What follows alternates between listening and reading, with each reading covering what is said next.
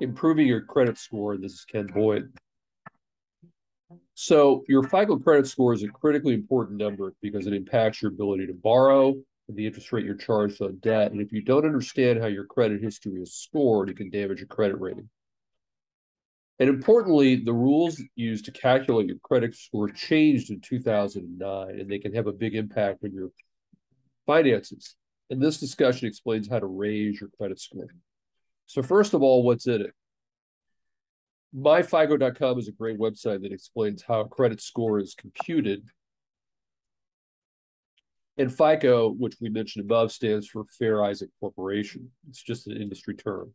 Most large lenders make credit decisions based in part on the borrower's FICO score, and the calculation is driven by information provided by credit reporting agencies. So it's important that you understand how these agencies work.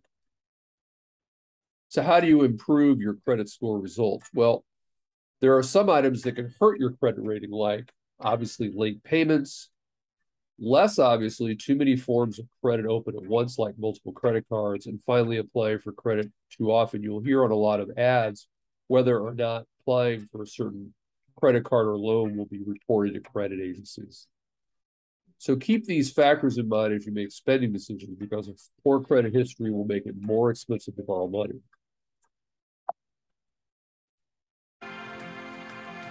Use this information to change how you spend and improve your credit score. So, what changed in 2019? Well, the Wall Street Journal explained that changes were made to boost loan approvals. The new score, the new scoring system, is FICO's latest answer to lenders who, after years of mostly cautious lending, are seeking for ways to boost loan approval. So, we want people to have more access to credit. And we use this with an Ultra FICO score, which is a score designed to boost the number of approvals for credit, cards, personal loans, and other debt, taking into account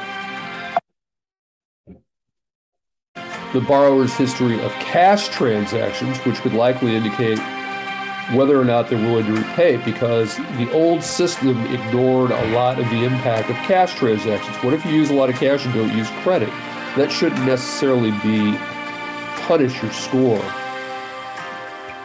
And there's an appeals process. Think of the new score as an appeals process for your credit. If your FICO score falls short, a lender can offer to have the score recalculated to reflect banking activity, again, cash transactions. Would be borrowers with at least several hundred dollars in their account who have had an account for a while and who use trans- transact with the account frequently and don't over, don't overdraw it are likely to see their credit scores rise. So this takes into account people who are using a lot of cash for transactions and not credit. There's some credit myths at my FICO blog that I also recommend again, points out some of these myths. Well, medical debt. Keep in mind that medical debt will impact your FICO score just like any other debt. And medical debt, unfortunately, is a common thing.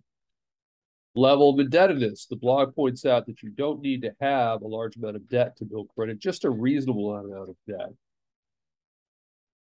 This next one's really important. There is a requirement to report credit activity, but there is no law that requires banks, credit card companies, and the lenders to report credit activity to the credit reporting agencies.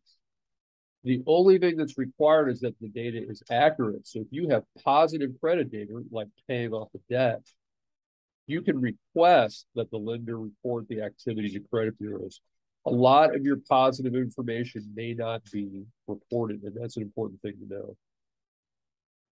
Not borrowing will keep my score high. You need to borrow money responsibly and pay it back to build a credit history.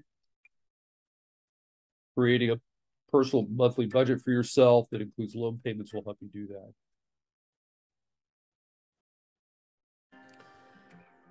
FICO needs data from a credit bureau to generate a FICO score. So if there's no data, if there's no credit activity, it's hard to create a score.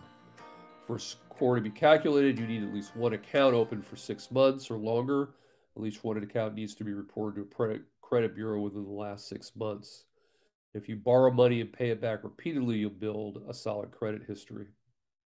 Information submitted by credit bureaus is not always accurate.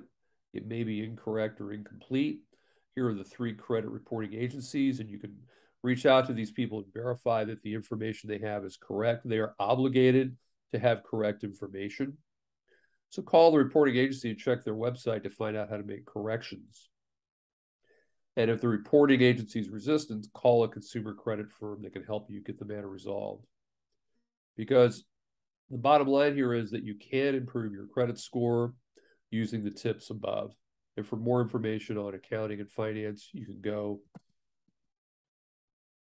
to join the online group conference